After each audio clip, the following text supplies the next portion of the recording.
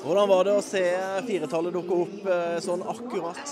Nei, Det var jo veldig godt, og det gikk jo faktisk til 4,1. Eh, Det betyr mye for KrF. Vi har jobba enormt som lag.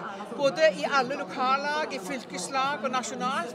Vi har vært enige om politikken. Vi har jobba så snott og tårer tar oss.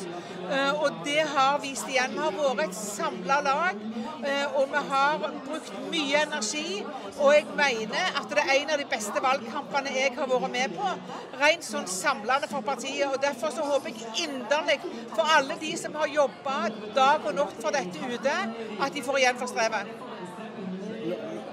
Venstre lå på 3,5, og med det så er jo den eh, eh, blokken eh, med den regjeringa som er nå, ganske svekka. Eh, hvordan, hva tenker du om helheten eh, av det resultatet som kom nå?